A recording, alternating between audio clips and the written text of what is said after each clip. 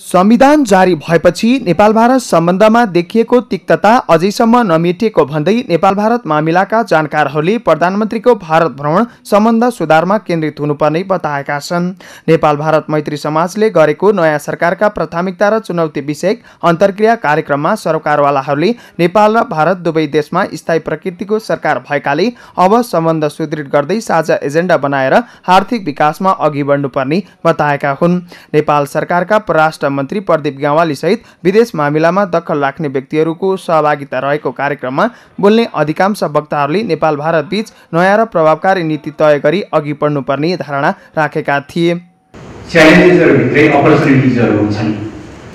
मैले त्यसलाई या यसका मेजर प्रायोरिटिजहरूमै बढी आफूलाई केन्द्रित गर्न चाहँदा पच्ला कई वर्ष ठूला राजनीतिक परिवर्तन हासिल सत्तरी वर्ष लमो संघर्ष पश्चात हमें संविधान निर्माण घोषणा you know that you are running a trade deficit not just with India but with China and even Bangladesh why are you running a trade deficit have you ever tried to think and understand what is the reason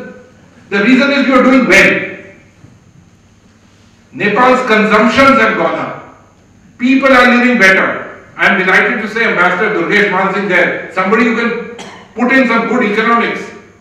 विकास नै प्राथमिकता हो भनेर मैले किन भनेको हो भने त्यो मेरो मौलिक विचार पनि होइन केही महिना अगाडि कान्तिपुरले विगत दुई सय पचास वर्ष नेपालको इतिहासका राष्ट्र भारतसँग सम्बन्ध कायम गर्न चाहन्छौँ र नेपालीहरूको तर्फबाट विगतमा हामी कहीँ न कहीँ कहीँ न कहीँ हामी अलिकति उपेक्षित भएको कहीँ न कहीँ हाम्रा विगतका